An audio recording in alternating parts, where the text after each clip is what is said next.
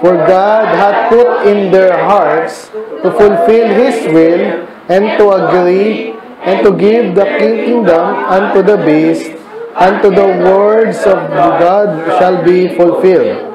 And the woman which thou sawest is that great city which reigneth over the kings of the earth. Let's pray, Lord. Salamat sa inyong mga salita, Panginoon. Ang topic namin, Panginoon, continuation ng aming uh, topic before, mga false teacher, false teaching, Panginoon. We pray na wala niyo po ito, Lord. Kahit mga bata nandito, Lord, we pray na tanim sa utak namin na kayo po'y banal. Ang inyong salita ay hindi dapat uh, maliin at galangin, Panginoon. Ang inyong salita dapat in a way na sinabi yung salita, ito yung totoo, pang sinong uh, sumuway dito, sinong uh, bumaliktad dito at uh, bastusin ang inyong salita, Panginoon. Ito po'y ma-warningan kami against them. And uh, pasok nga po dito yung Catholic Church, especially Roman Catholic. So I pray na wala niyo pang bawat sa, bigyan akong pangunawa, Panginoon. Salahin niyo pong gawa ng kaway. Kaya mga mapupuri. In Jesus' name we pray. Amen. Okay. Ako po na po. Morning po sa lahat. Morning. Binasa ko lang yung Revelation. No? Basahin ko pala ulit to. No? Ano, yung title po nito is, uh, ito yung series natin, kung naalala niyo po, no? Kasi again, may nagtanong, bakit mo daming false teaching, false church? Tsaka bakit natin sila in-expose? Parang ganun yung tanong. Natating sa akin. So, doon ko na pagtanto yung aking pagkukulang. Okay? Though actually, preach naman natin talaga to. Hindi lang tayo nag-focus. Intindihan niyo po yan. So, more on encouragement tayo madalas. Pero sinasagian lang natin yung mga ganito. And this time, nag-upisa po tayo last month. Title po actually nito is Many False Prophets. Yan yung series. Okay? Ang title natin today is Roman Catholicism, Mother of Harlots. Okay? Ano yung Catholic? Sinong Catholic dito? Wala na. Salamat. so, pero tayo, Catholic tayo dati, di ba? Karamihan ng Pilipino, Catholic. Pero hindi na ako, hindi ako nag-identify bukod sa pastor akong Baptist. Dati ako Catholic, so hindi naman ako nagpaalam doon, umalis na lang ako. Yan dapat lang naman. Actually, yun ang gusto natin mangyari sa lahat ng Pilipino.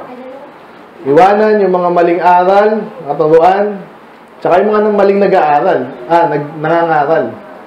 Kung mali yung tinuturo ng pare, ba tayo pupunta doon, di ba? Logical lang eh, di ba? Ganon din, syempre, hindi yan nag-iisa, of course. Ah, sa series natin, dadaanan natin lahat yan. Ano pa yung mga kulto? Kay Soriano, Iglesia ni Manalo, dating doon, ano pa? Saksi ni Batman, Mor Morons, Later, late, later day Satan, ano ba? Lahat po yan. No? Pipiliin natin yung relevant sa atin, mga Pilipino. So, kaya inuna natin sa Catholic. So, actually, sa buong mundo, relevant to eh. Amen? Kaya medyo, ano kayo, hawa kayo sa upuan nyo. Makinig ha. Ganda ng bihis ngayon ni Madi ah. Ay, di palang ganun eh. Nasaan na yung kay, ano, ay, miss ko si, ano, Jackie. Yung mga ganyan daw kayo eh. Nasaan na ba? Ayan, nakabihis ng mga to. Si Irish na lang, oh. Irish, si Sandy. Ayan. Hindi tayo makapunta ng taytay eh. Anyway. so, ganito po yan ha. Bakit natin pag-aaralan to? Para ma-warningan tayo, amen? Eh, hindi na ako Catholic eh. Mga kapatid mo, kaibigan mo, Catholic. Di ba? At mag-preach tayo, karamihan sa Pilipinas, Katoliko. So, para maintindihan natin kung saan natin lalagay sarili natin at sila din. Okay? Hindi pwede sabihin, okay lang yan, pareho lang. Hindi nga okay eh. Pero yung tinanim nila ang maling-mali dito sa bansa natin, ang hirap niyan, ang hirap i-deal. Kaya inaaral po natin dito. Amen? Yung mga false doctrine nila, at di natin kayang, ano, sa dami po niyan, di natin kayang isa-isahin. Kaya the, this morning, hindi, iyan ako muna yung introduction natin, yung nangyari last last month. Last month, okay? Yung series natin, pinag-aralan po natin ways to identify and combat the false teachers. And syempre, mga false religion. So, number 1 to 7 to. Number 1, know God in Spirit. Maligtas ka muna dapat. Pag ligtas ka, panalo ka na. Okay, pero hindi ibig sabihin, makakalis ka agad doon. Yung tanong natin kahapon eh. sa ating soul winning training. Number two, learn and examine. Pag-aralan nyo, hindi ka pwedeng, hindi ka makapag-decide agad-agad kung hindi mo inaaral. Napakadami na ng kasinungalingan yan. So, pag hindi mo inaaral, hindi mo rin ma-identify, hindi mo rin pwedeng labanan, hindi mo kaya. Okay, number three, acknowledge and know that there are many false prophets. Medyo obvious yun.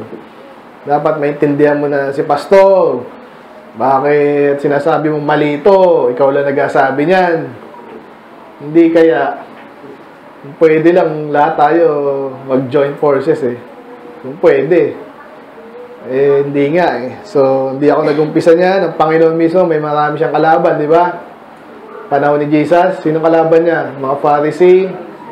Ganun din. number uh, number four, ito. Punta dito sa series natin. Know and identify the Lord's primary enemy. Sino pinakalaban ni Jesus? Satanas.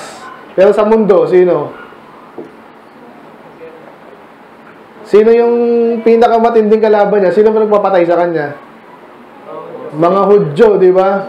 So sa palagay niyo ngayon, tumigil na sila. Nung sumikat yung Christianity, tumigil na yung mga Hudyo. Nawala ba sila? Ubus ba sila? Hindi nga eh. Pero konti lang yan. Pero ang laki na influensya niyan sa mundo. Kaya, kaya sinabi natin dito, yung mga antichrist. Okay? Yung talagang galit sila kay Jesus. Ibang religion, wala nang pakialam kay Jesus eh. Alam niyo ba yun? Yung mga Buddhism, galit ba yan kay Jesus? Hindi, sasabihin nila na, idagdag mo lang itong mga si Buddha, kung ano kalokohan yung Buddhism eh. Pero galit na galit talaga kay Jesus, eh, no? Mga Hudyo. To the point na yung mga talagang ano dyan, yung matinding uh, adherent ng mga Hudyo, alam niyo ginagawa nila? Pag binanggit mo yung pangalan ni Jesus, dumudura yun. Galit sila, as in, galit. So, dapat maintindihan natin yun.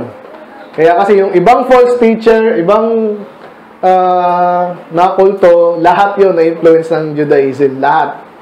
Hindi yung Islam ha, siyempre, iba yun eh. Yung mga ibang Christian churches. Quotes, okay? And then, uh, so sila yung pinakalaban ng Panginoong Isus, galit kay Jesus. Number five, draw strength from the Lord Himself as His children. So, ito, mga Baptist, parang hindi tayo kilala, ang hina natin. Sa Diyos ka humatak ng lakas. Amen? So, hindi mo malalabanan yung mga yan eh. Paramihan, para, hindi. Number six, have the true love, the love of God. Okay? Kasi pag mahal mo ang Panginoon, mahal mo yung mga mapupunta sa impyerno kasi yung mga yan, katulad nyo.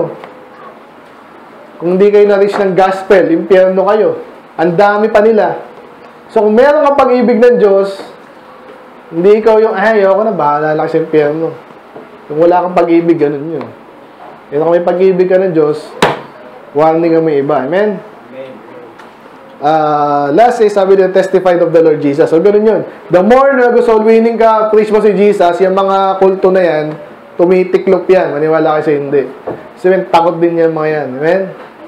So, yun ang, yun ang way to combat yung mga false teaching. Ngayon, isa-isahin natin sila kasi sabi sa ating number 2, learn and examine, di ba?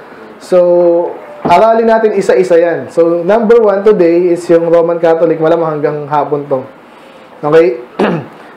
uh, Binake ko lang sa dalawang ano to, yung major errors saka mga others. Okay?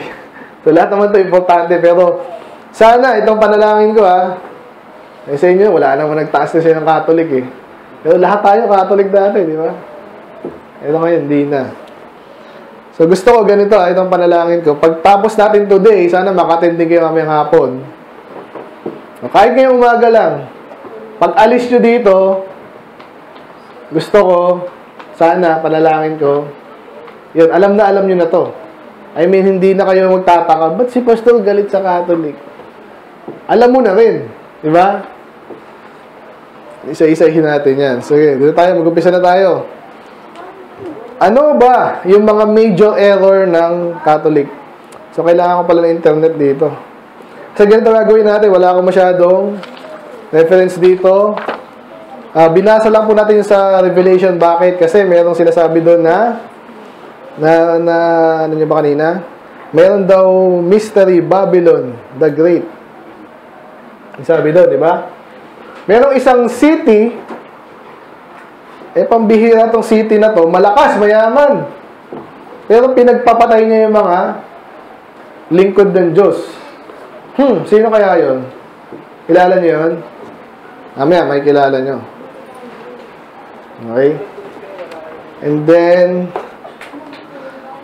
uh, isa-isahin natin yung mga major error nila para uh, para hindi natin gayahin, di ba? Ganun pala yung Catholic. Ayoko na sa Catholic. Siya. Ganun yun. Okay? So, number one, yung pinaka-pinaka, syempre, kaligtasan. Sino dito ligtas na? Hmm, Rain. Si Rain na naman. Kailan ka naligtas? Yun, amen. Ako, naligtas ako, 20 years old na ako, ganyan. Eh, dati may Catholic, ano nangyari? Diba? So, hindi ako naligtas sa Catholic kasi nga, hindi nila alam yan at mali sila dyan. Nililito nila pati ibang tao. So, uh, first error nila is kaligtasan. Ano ang tinuturo ng Katoliko sa kaligtasan? Tingnan natin mismo sa kanilang bibig. Sa sarili nilang bibig. Kaya puro internet tayo na. Anong sinabi nila? Sino nakakalam? Si, uh, si Rain ulit. Anong tinuturo ng mga pari? Paano ka maligtas?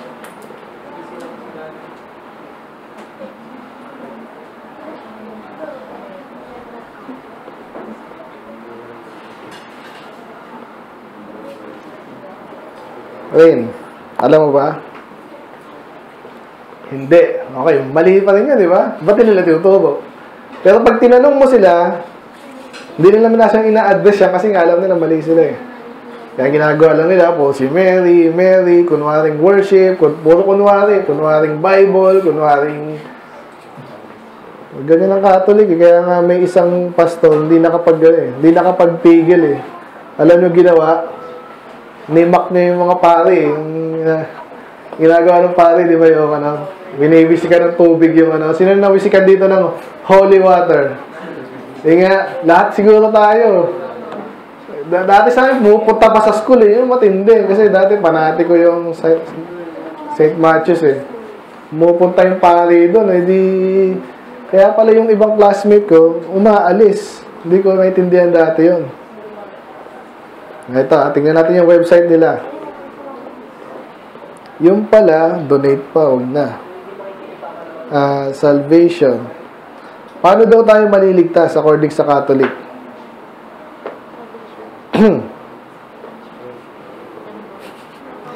Alam niyo, iniba na yung iniba na nila yung ano nila eh. Iniba na nila yung website nila dati. Text lang to eh. Ah, ito na lang muna. Okay.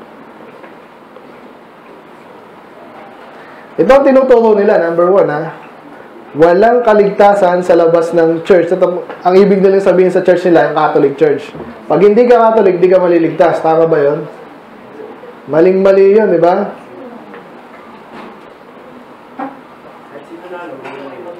Actually, karamihan ng ano talaga, isa yan sa mga signs, makinig.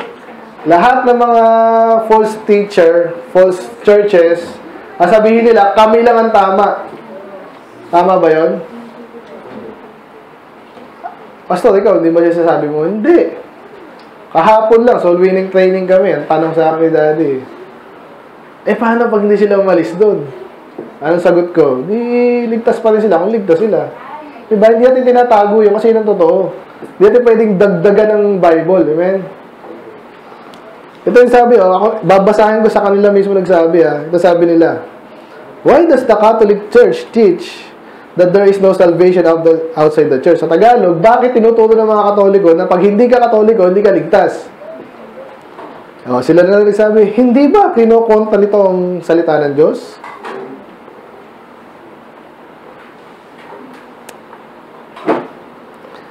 Ito yung keynote nila, Acts 4.12, magandang verse, kaso mali. Okay? Sinabi niya dito, there is no salvation in no one else, for there is no other name under heaven given among men which by which by which we must be saved. Tanong, nasa yung Catholic dyan? Tinuturo dyan si Jesus. Outside of Jesus, walang kaligtasan. Tama yun. Sinabi bang outside of the Catholic Church, walang maliligtas? Mali, di ba? Nakita yung panluloko? Ganon din yung iglesia ni Manalo eh. Madalas ganon eh. Ang gagawin nila, ah, uh, pwedeng ito, di ba? Walang maliligtas kung di kayo kay Kristo, tama naman. Kaso, bigla nilang isi-shift, dapat iglesia ni Manalo ka. Sinabi ko, iglesia ni Manalo, alam niyo na yun ha. Makita yung panluloko na yun.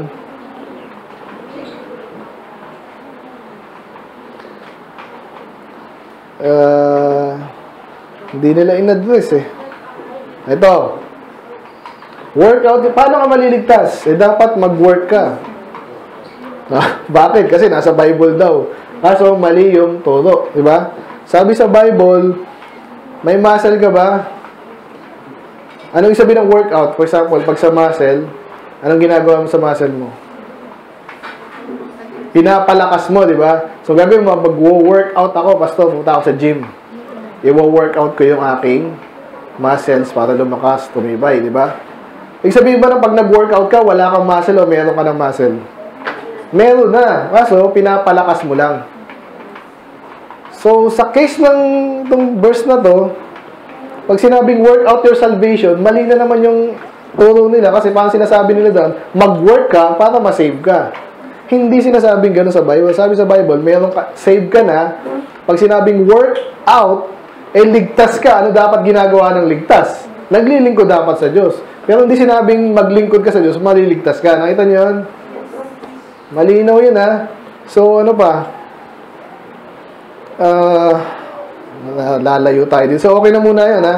Kaya ganito po yan. Kaya itong mga Catholic, ang tinuturo nila yung mga baby, kailangan binyagan. Bakit? Kasi para sa kanila, ang pagbibinyag ng tubig ay isang, uh, sabi nila doon, parang sacrament. Na dapat magkaroon ka muna, gawin mo to para ikay maligtas. Tama, mali. Nasa sa Bible yun? Una, wala. Okay? Kaya, kaya ginagawa nila yun kasi mali yung turo nila sa kaligtasan. And therefore, binaptize nila yung baby kasi ang turo nila, kailangan i-baptize. So, hindi tama yon Sabi ko na rin kanina, nag-soul winning kami doon. Tumanggap siya. Kaya bang gawin ng baby yon Sino ko nakakausap yung baby? Ako yung baby namin, kinakausap ko yon Pero walang ano yun, nanay, tatay lang. Na ABC. Yun lang yung nag-uusapan namin. Siya na. Hindi ka mag-uusap ng kaligtasan. Okay? Kasi hindi niya maintindihan yun. Okay? So, number one, mali yung salvation nila, mali yung infant baptism, And then, ito. Ewan ko, masasearch ko dito. Sana masearch ko sa kanilang website. Indulgence. Alam niyo indulgence? Isa to sa mga pinaka-pinaka mali ng Catholic. Indulhensya. Kung nag, uh, anong grade ka na ba? Tapos ka na sa El Filibusterismo? Ay, ganun. Eh, kahit yung Noli. First year. Sa amin, third year, fourth year. Third year yung Noli. Alam nyo bakit sinulat ni Rizal yun? Para warningan yung mga Pilipino. Kasi ibang Pilipino, hindi na nag-iisip. Kasi nung panahon ng Kastila, kahit sinakop na tayo nila, yung iba nagtitiwala pa rin sa Kastila. Ba't ganun? Kasi may way sila na para hindi lang tayo alipinin militarily, pati utak natin gusto na ng uh, i-conquer. Ganun po yan. Okay? So, kung may sasakop sa atin, yung Panginoon na sumakop sa atin, amen? Hindi yung mga kusinong wicked people, katulad ng Kastila. So, ito, ito. Ayan ha, sila nagla, nagsabi. Yung indulgence is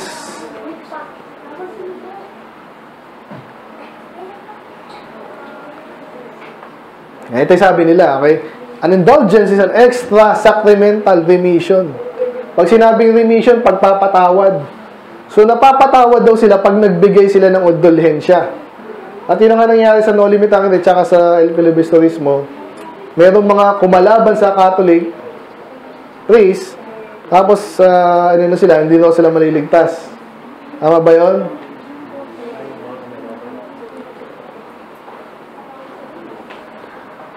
Ayan, yung mga sacrament, sacrament. So, sila na nagsabi extra sacramental.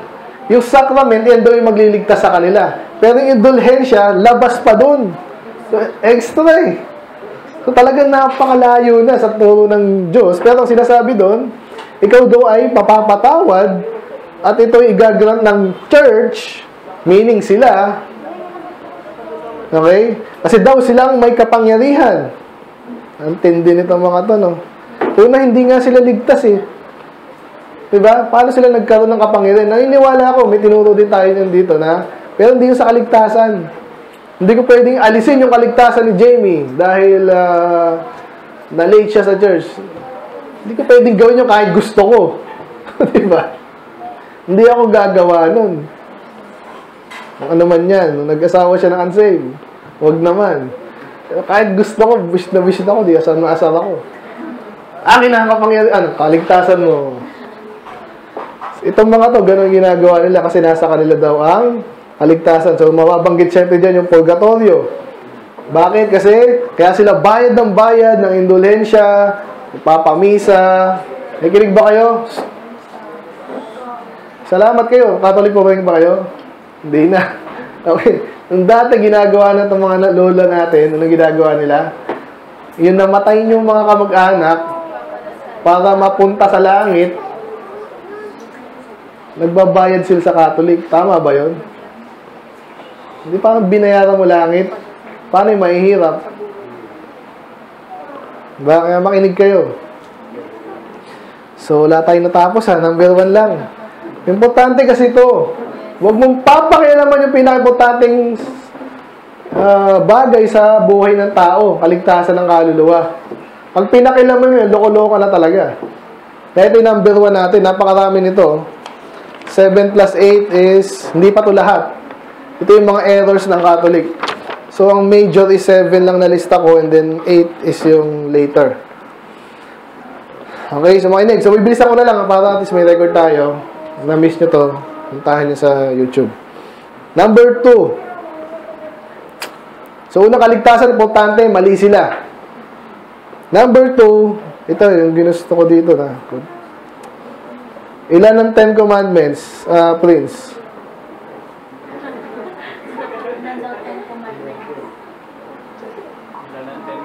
Prince, sumagot ka.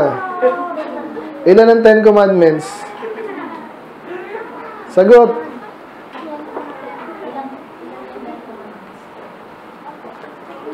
Oh, sampo, ang galing ah. Sino yun? Bakit sampo? Kasi 10, di ba? Ito ang ginawa ng loko-lokong Catholic Church. Tingnan nyo. Yan tayong uh, pagdalawa to. Ito.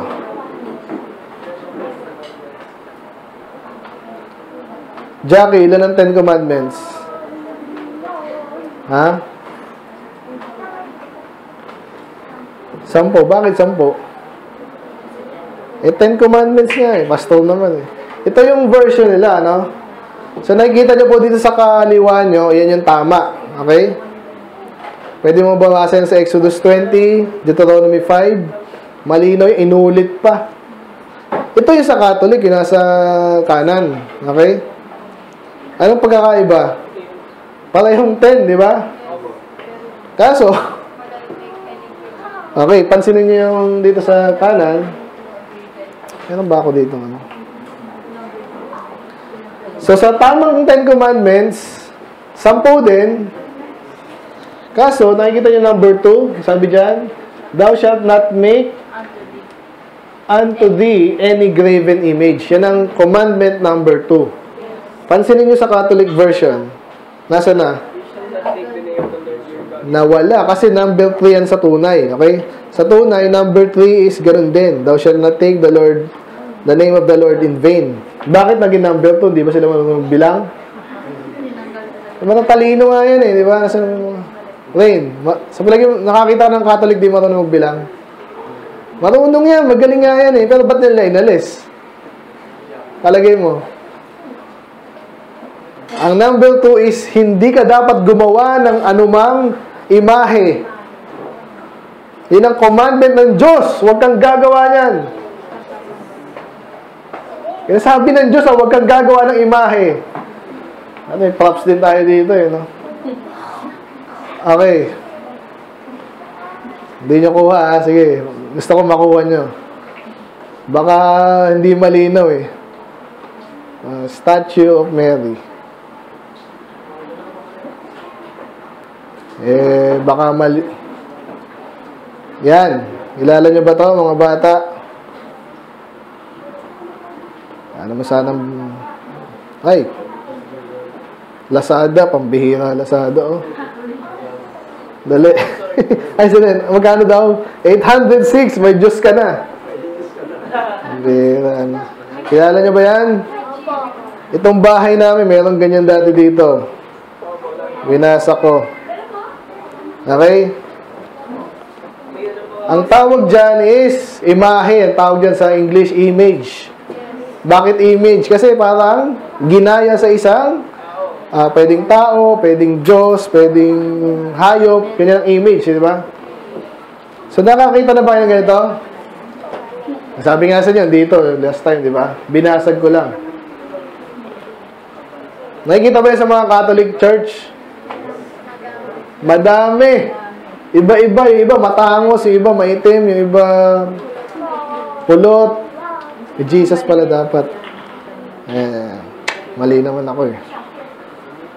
Black Nazarene. Yan ang paborito ko eh. Black Nazarene. Ano basta ba?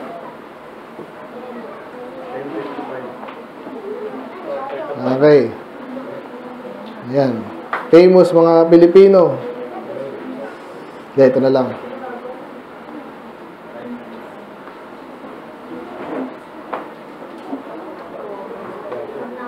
Ito na, ay, ah. Ayan, kita nyo naman, di ba? Ito yung malapit, ito yung mga tao pag nagkumpulan na, okay? So, si G, sino to? Ah, Reg, sino to? Ha? Sino to? Yung nakadress. Oh, black. Sino nga yun? Si Jesus ba yan? Oh, very good. Si Jesus ba to? Mga bata pa kasi, okay.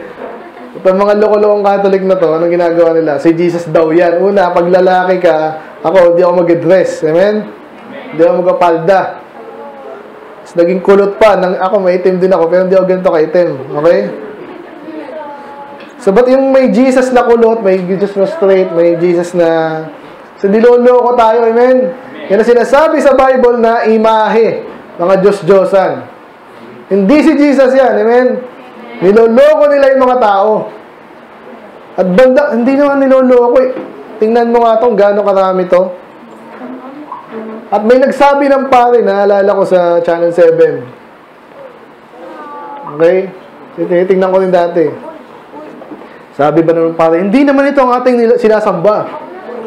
Yung sabi ng pare, bandang huli, wala na siya doon. Tsaka hypocrisy yun, amen? Alam niyo hipokrito? Sinasabi mo ganito, ito yung totoo. Sinasabi nila, hindi nila sinasamba eh. Pinapahira nila, pinaparada nila. Ang mga bagay na pinaparada, kahit ano man yan, okay, pinapamahanga mo, gusto mo yan, tingalain ng mga tao. Ganun yung kasimple. So, the fact na hindi nila tinatanggal tong tradisyon, pinagkakitaan na yan, Okay, yung huli ko nakita yung Quiapo Church, church, wala pang aircon yun eh. Nakapagsamba pa ako dun eh. Doon yung sinasabing lumuluhod sila eh. Ngayon, aircon na. Makita namin. Kakaintindihan ba tayo? O ngayon, tatanungin ko kayo ulit. Bakit kaya nila inalis yung gano'n? Ang Ten Commandments. Michael. Ito yung tamang Ten Commandments. Sabi ng Diyos, Huwag kang sasamba, huwag kang gagawa ng mga ganon. Sabi ng Diyos. Yung Catholic, ito yung version nila, inalis nila yon. Bakit kaya sa palagay mo?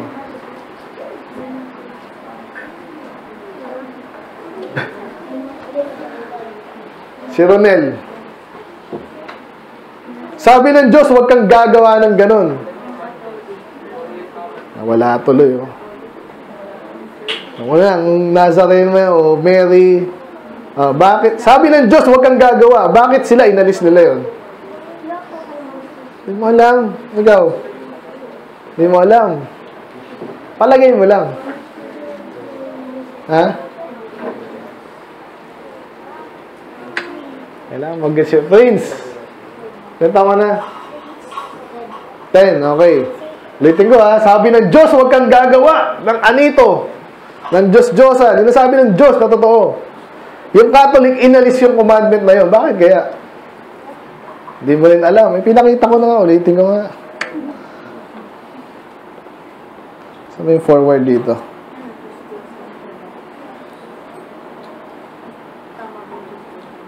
Sino gumagawa nito, Prince? Ano ba yan? Sorry. Ginawa to ng Catholic. Okay? Tama ba to? Gumawa ka niyan? Hindi. Sabi ng Diyos, huwag kang gagawa. Sila gumagawa. Inalis nila ngayon yung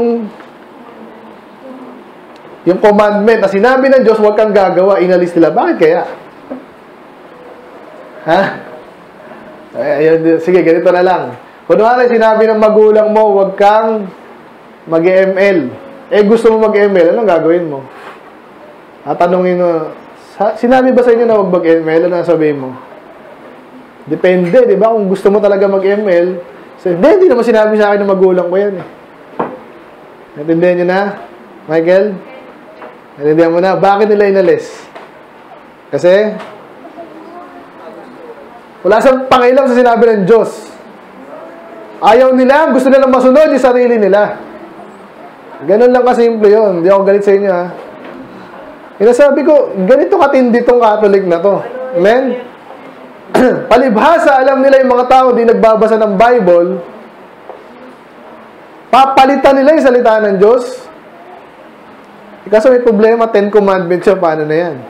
Pag inalis nila yung isa, 9 commandments na lang. Anong gagawin nila? O, oh, itong ginawa nila. Inalis nila dito, ginawa nila yung 10 na sa tunay na nakalagay, thou shalt not covet. Ay, sorry. Hindi nga pala ito nag-zoom, no? Houston, we have a problem. Hindi pwede mag-zoom. Okay. So, nagkakaintindihan ba tayo? Kailangan, 10 commandments pa rin. Pag inalis mo yung isa, 9 na lang. Oh, may problema tayo dyan. Kaya ginawa nila, nakikita nyo ba yung, ay, ba't ganun? Gumagawang kaway. Nice. Okay. So, ang ginawa nila, inalis nila yung 2, maiging siyam na lang. Anong ginawa nila? Yung commandment number 10 ay hinati nila ngayon. Ginawa nilang, you shall not covet your neighbor's wife, and then, you shall not covet your neighbor's goods. Ang problema, at punta natin sa Bible. Kasi sabi ng Bible, kasi actually, shortened version yan, kahit itong nandito eh, di ba? Exodus 2. 20 pala. Ito yung 10 commandments. Nakita niyo yan? thou shall not, thou shall not. Okay? Thou shalt not kill, thou shalt commit adultery, shall steal. Ang huli is ganito. thou shalt not covet thy neighbor's house, thou shalt not covet thy neighbor's wife, nor his manservant, nor his maidservant, nor his ox, nor his ass, nor is anything that is thy neighbor's. Tindahan nyo ba? So, ibig isa, buo yun eh. Huwag kang magko-covet kahit ano pa yan. Asawa niya, bahay niya, uh, ano ba ngayon sa empleyado niya. E din ganun eh. O yung kanyang kotse. Kasi wala nang ox ngayon, tsaka as. Yung kanya, kahit ano, cellphone niya, wag mong kaingitan. Wag mong pagnanasaan. Anong problema dito? Ang problema dito, ba't nila hinati ito? Ha? Kasi nga, kailangan maging sampu eh. Ito yung panluloko na yon. Wala pa tayo sa matindi ha. Pangalawa pa lang tayo. Una yung kaligtasan. So sana mga kapatid, mahal, ang nakikinig online, ganun eh. Huwag niyo tayong paloko sa Catholic. Amen? Niloloko tayo, sinusubukan nila. Pero, hindi tayo papaloko. Kaya nga, inaalam natin kalokohan. Okay, so, luto na ba yan, ay? Hindi pa. Okay, tuloy lang ako, ha? So, number one, salvation, kanila, by works. Kailangan magtabaho ka, sabi sa Bible, by grace through faith and not of works. Baliktad ang Catholic, amen? Yung baptism sa atin, adult or young adult, basta marunong na mag-isip. Katulad ni Reg. Nabaptize ka na ba? Yan, kasi matalino to eh. Ang galing sumagot eh. So, alam niya na, binaptize ko na. Tumanggap sa Panginoon eh. Indulhensya, pinagbabayo tayo ng kaligtasan. Mali. Number two, yung idols, nakita nyo kanina, mali. Gusto nilang itama. Sa halip na itama nila yung sarili nila, anong tinatama nila? Minamali nila yung Bible. Loko-loko yung mga yan, maniwala kayo. Lalo yung mga leader nila. Amen? False teacher. Pangatlo, nakita nyo na rin kanina, pagsamba kay Mary. Okay, tingnan natin sa sa kanila mismo. Catholic Answers.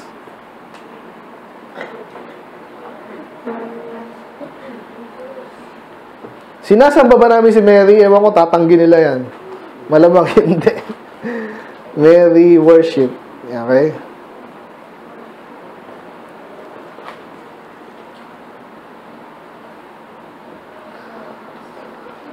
Wala.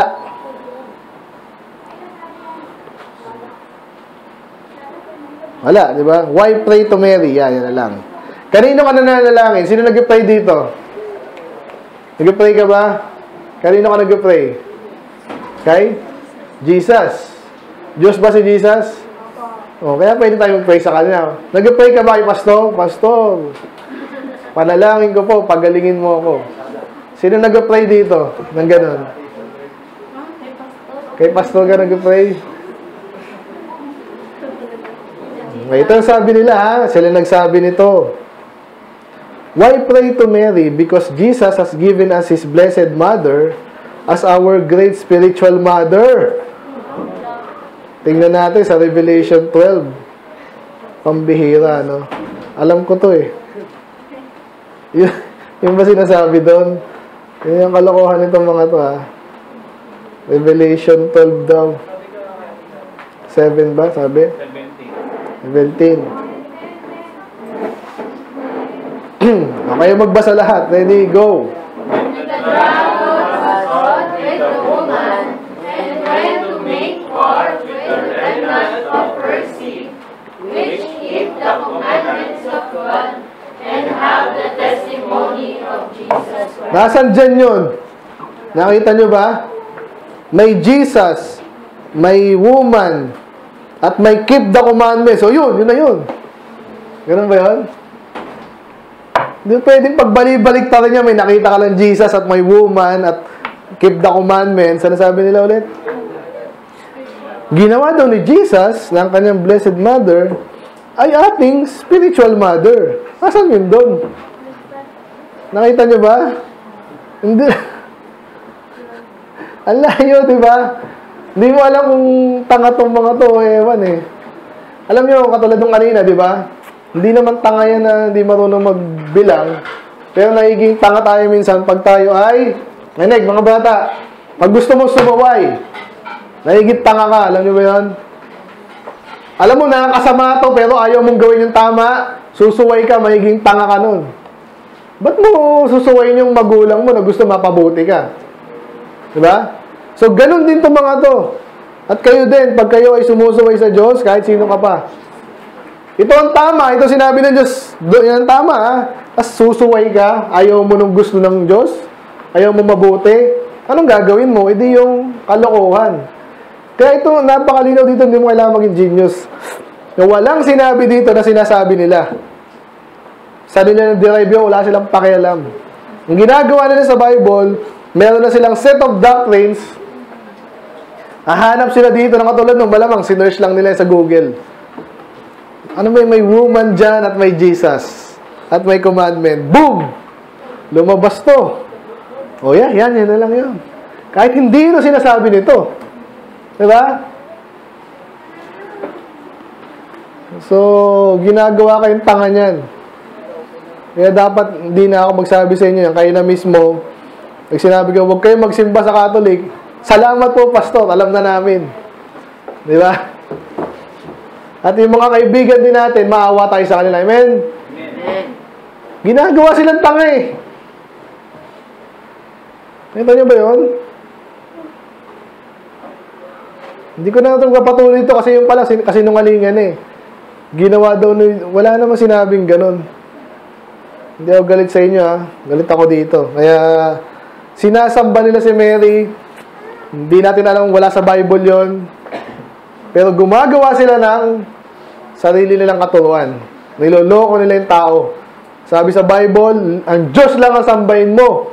Tapos pag naglagay sila ng ibang sasambahin natin, loko-loko yun. Tama ba? Ang Diyos lang. Sasambahin natin. Yan ang pangatlo. Ang apat, anong oras na? Kailang minutes na ako dyan? 10 minutes. Ito.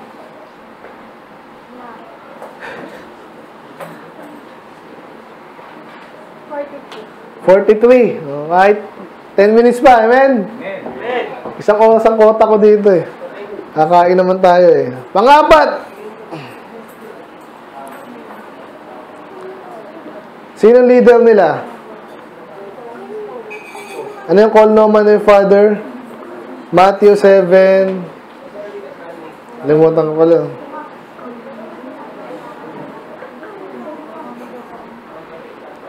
Nabisado natin to eh.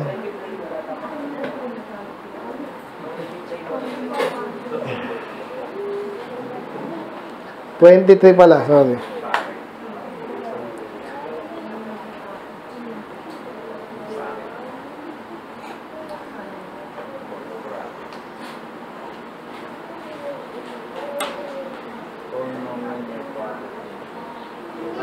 Okay, basahin natin ito lahat ha. Salisalitan tayo. Ako muna. Say the, saying the scribes and the Pharisees sit and Moses sit.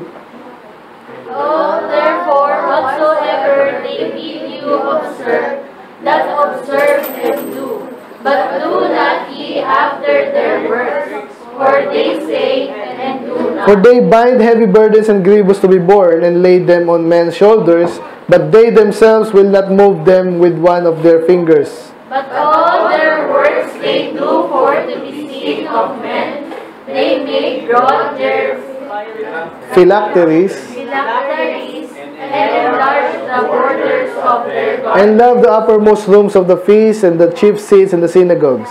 and waiting in the markets, and to be called of men, Rabbi, Rabbi. But be not ye called rabbi, for one is your master, even Christ, and all ye are brethren. And call no man your father upon the earth, for one is your Father which is in heaven. Neither shall you be called masters, for one is your master, even Christ. So, malinaw po dito, ang, ang context natin, may mga tao daw, mga loko-loko. Anong ginagawa nila? Gusto nila sila yung laging, Father, Father. Diba? So, magdadamit yan ng talagang, hindi yung pagkakamalang kahit sino. Amen? Kasi pag nakita mo yun, uy, gusto galangin ako. Yung sinasabi ng Panginoon dito eh. Itong mga to, ito yung mga Pharisee. So ngayon, wala tayong Pharisee sa Pilipinas. Salamat naman. Meron din yan, pero takot yan. Salamat sa Diyos, wala naman sila dito. No? Pero, may mga gumagaya sa kanila. Sinong gagaya dito sa kalaban ng Diyos? Di mga kalaban din ng Diyos. At sinasabi dito, eh no, may mga, dito lang tayo sa bandang uli. They love the uppermost rooms in the feast. Alam niyo ba yung mga pare, hindi yan basta-basta. Hindi ka pupunta sa bahay niya kung wala mag-aasikaso dyan. At pag pumunta yan, napakaganda ng sasakyan niya, may, ah, may mag, ano yan, may mga assistant yan. Sasabihin siya, dapat si father, ganyan ha. Hindi ko alam yan, pero yun ang na-imagine ko, kasi yun nakikita ko eh. Pupunta yan, laging late. Ano ba yun? Kasi hinihintay siya, gusto hinihintay sila. Babayaran niyo yan. Men, si pastor, pag ano, ako pinaghihintay niyo eh. Di ba? Isa, papuntahan ko eh, tataguin niyo pa ako eh. Nasaan na yung mga tao dito?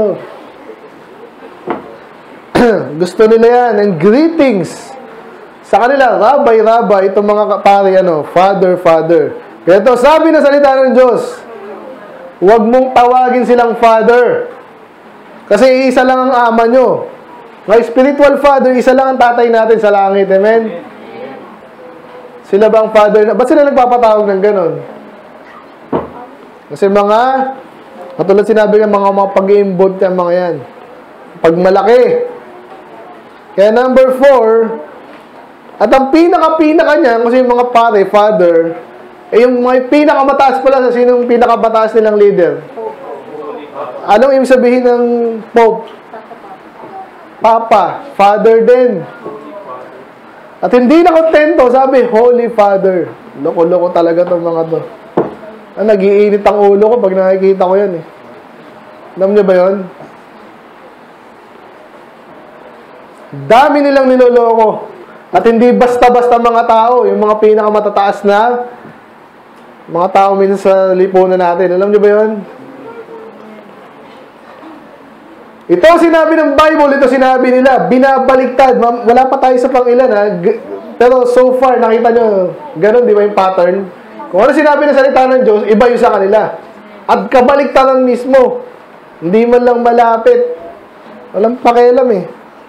So number four, yung papasin na yan, sila yung laging pinakamataas, sila yung nasusunod. At maniwala kayo sa hindi, alam niyo bang katuruan niyo sa Santo Papa nila? Kuno. Hindi siya nagkakamali. Yan tinuturo nila. Infallibility. Ako nung inaaral ko pa ito nung bago akong Kristyano, may attachment pa rin ako sa Catholic, di ba? Ayaw ko silang, alam mo na. Kasi siyempre, baka naman mababait sila eh. Nung inaaral ako, hindi ko na mapa- dito ako na ano, hindi ko makakalimutan. Ito yung talaga nag-ano sa akin. Tinuro pa talaga. Ang kapal naman ang mukha nito. Di, tinu di binasa ko ng binasa. Talagang tinuro nila. Ang Pope hindi nagkakamali. May tao bang hindi nagkakamali? Kung lahat ng tao nagkaka... Ano siya?